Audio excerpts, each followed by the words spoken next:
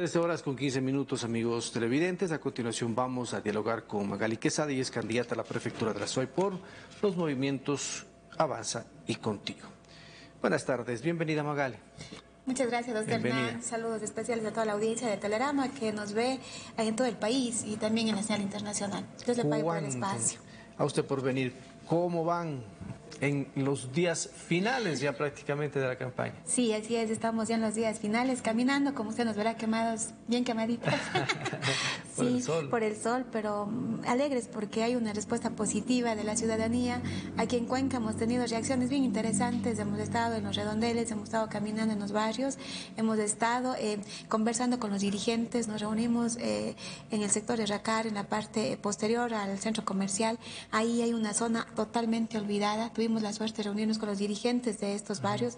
Hay una zona ahí frágil en el tema de un deslizamiento, de un talud, y nos hemos comprometido, eh, apenas nosotros estemos en la institución provincial, en justamente intervenir en este espacio. Es necesarísimo mirar la ruralidad y también el sector periférico de Cuenca. Hernán, hay un abandono en el tema de las vías, el sector periférico impresionante, el tema de canalizaciones, en el tema de aguas lluvias es otro tema fuerte, el tema de riesgos que viven nuestros sectores que están cercanos a la urbe, también es un, una problemática intensa y nosotros tenemos que conversar y, dialogar eh, a diario. Estamos haciendo eso, estamos conversando con las dirigencias, estamos conversando con las organizaciones barriales. Nos hemos reunido esta semana con los dirigentes de Totora Cocha, no de todos los barrios, de algunos de ellos. Ellos han planteado un tema importante, el tema de seguridad, que es un tema eh, fuerte para la ciudad, pero también han planteado el tema de ser parte de la estructura organizativa y de ese cogobierno que les parece interesante en el tema del cogobierno resolutivo eh, nos han planteado también algunas acciones que se deben plantear en el plan posteriormente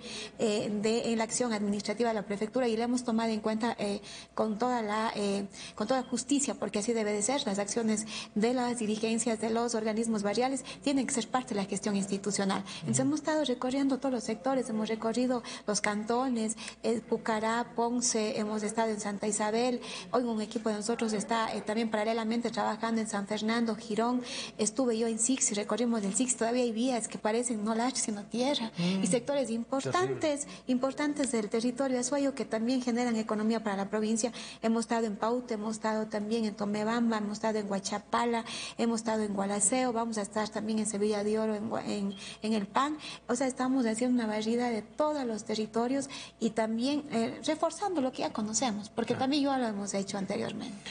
Usted fue viceprefecta eh, hay serios cuestionamientos con el tema del manejo, cuestionamientos de los candidatos, me refiero ¿Qué hay que cambiar en la prefectura si usted gana las elecciones? ¿Qué haría lo primero para que sea más eficiente el gobierno provincial? Una reorganización institucional. Hay que hacer una reingeniería completa en la prefectura de la SUAY.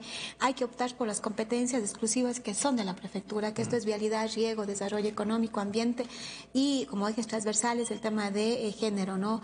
Eh, y atención a grupos prioritarios. Hay que eh, reagendar justamente todos estos procesos en el tema de la parte metodológica y en el tema también de la parte operativa. Hay que desconcentrar la gestión de la prefectura de la SUA. Yo veo eh, y planteo permanentemente el tema de territorializar la política pública en las competencias en los territorios. Se necesita acercar el tema vial a los territorios. Por eso nosotros hemos planteado dos campamentos viales, uno en la cuenca del Paute y otro en la cuenca del Jubones, con la parte administrativa, la parte técnica, la parte fiscalización y la parte operativa. Fortalecer el que existe a medias, porque es solo un equipo caminero que está ahí a medias, en la zona baja de Molletur, en la parte costanera, y el que queda acá en Cuenca para las 21 parroquias de Cuenca. Con esa reorganización, con esa zonificación, vamos a dar respuestas en menor tiempo posible a los temas viales de mantenimiento rutinario, pero también a cambiar ya la matriz vial en el tema de la estructura de la base, lo que es la base y su base, y asfaltar que se dedique a colocar lo que le corresponde al asfalto. Asfaltar tiene que ser una empresa eficiente en el tema de la colocación de asfalto, hacer en menor tiempo posible. Sabemos que ahora el tema de la contratación pública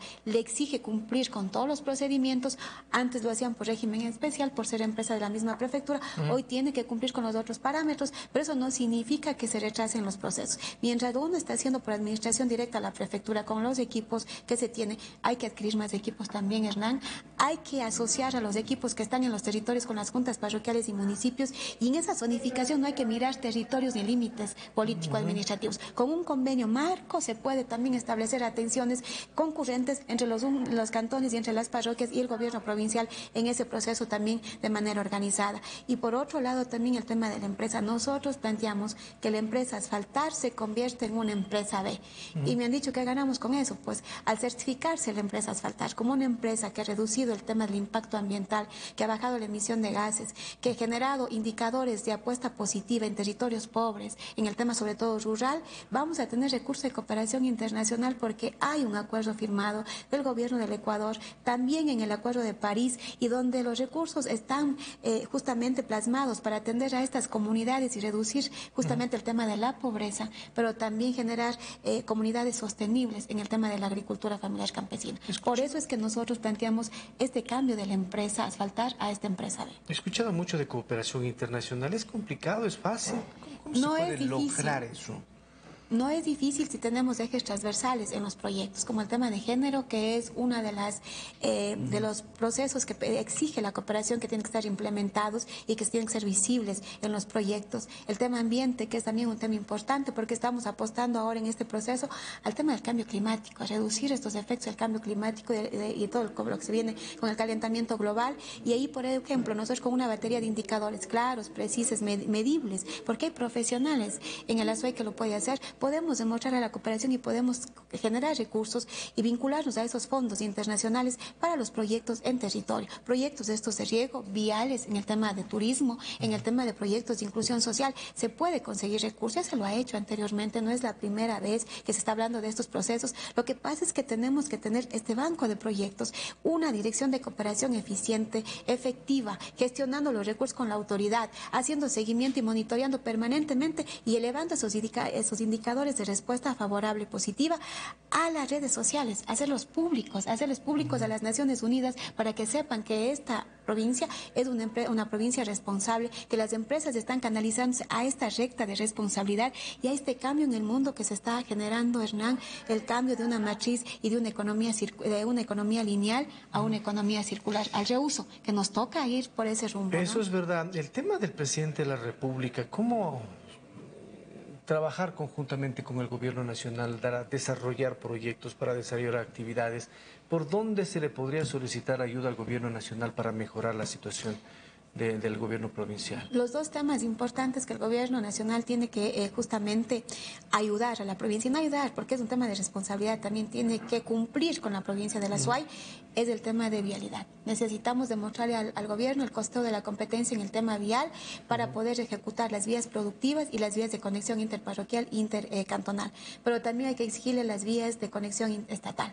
Estas vías que son básicamente ejes de desarrollo, porque hay que hacerle mirar al gobierno que no es Cuenca el que está solo, que es la región austral y que de Cuenca exactamente tiene un efecto en el austro, tiene un efecto en todas las otras provincias y es por eso que esta atención es urgente y emergente. Hay que exigirle los recursos necesarios. Pero también la otra línea de acción es la Asamblea Nacional, la reforma a la ley. Eso es básicamente importante. La Asamblea nos tiene una deuda ahí. Los cinco asambleístas de la SUAY nos tienen que dar una respuesta en esa reforma, la reforma a la fórmula de cálculo de equidad territorial para que se incluyan variables positivas para apoyar con mayor recurso a la SUAY. Estas variables no va a perjudicar a las otras provincias porque ellos ya tienen las variables establecidas igual que la de la SUAY, pero nosotros necesitamos una acción positiva. ¿Por qué? Porque está respondiendo en temas importantes y trascendentales en torno a los objetivos de desarrollo sostenible del mundo y también los objetivos del plan creando oportunidades del gobierno nacional. Si nosotros miramos en ese entonces y con esos procesos, podemos decir que si nos ajustan esos valores como, eh, digamos, una, un, premio a la SUAI por haber cumplido indicadores de pobreza, vamos a tener una repercusión positiva también, atención en las vías de la SUAI, en el tema de riego y en el tema del emprendimiento. Hernán, los recursos que vienen de, la, de, los compañeros que están en el exterior, remesas de los migrantes uh. mueven la economía de la SUAY 400, 500, millones, al año. Eso es lo que está moviendo la economía y nosotros no podemos desconocer y tiene que también por esa situación de haber expulsado gente, tener que tener proyectos para reinserción y que la gente nos siga yendo al exterior. Porque hay un un problema mayor, el tema del relevo generacional. ¿Quiénes están a cargo de las fincas y del tema de la producción agrícola en el territorio rural? Muy pocos, y la mayoría de 60, de 50 años. ¿Quién va a hacer el relevo después? ¿Cómo va a quedar nuestros campos abandonados y nuestra alimentación en el futuro cómo se va a sostener? Va a subir, va a subir precios, va a haber de otro lado, va a haber una, una, inestabilidad económica, no se va a activar el tema de la, del agro y tenemos que ahí posicionar el proceso con los jóvenes y por eso hemos planteado nosotros 100 becas por año a través de los institutos y universidades para promover el tema de estos proyectos y estos nuevos programas de educación, el tema de agricultura sostenible. Tengo dos minutos, eh, Magali. El tema del agua no quiero dejarle pasar. Acá tenemos una consulta popular, se realizó en San Gerardo, en Girón también, otra consulta por el tema del agua. Hay contaminación fuerte en los ríos Santa Bárbara, por ejemplo, ríos de Ponce Enríquez, y al parecer nadie toma la decisión de enfrentar este problema. ¿Qué hacer si usted llega a la prefectura de la SUAY? Bueno, nosotros hemos planteado con claridad el tema de, eh, en la institucionalidad, plantear un apoyo jurídico, un equipo técnico jurídico para sostener la lucha social de las organizaciones. Es un tema político. Es un tema político, no es política partidista, es un tema de política de vida de los azuayos. Si nosotros no tenemos agua en el futuro, si nosotros eh, nos desprendemos de los pocos recursos naturales que nos queda, las zonas de recarga hídrica, los humedales y donde están las captaciones de agua para consumo humano y agua para riego, no vamos a tener un futuro promisorio para nuestros hijos y para nuestros nietos. Entonces nosotros vamos a sostener eh, técnicamente y políticamente la acción que han hecho los movimientos sociales que reconocemos y los colectivos, porque en ellos ha estado la lucha.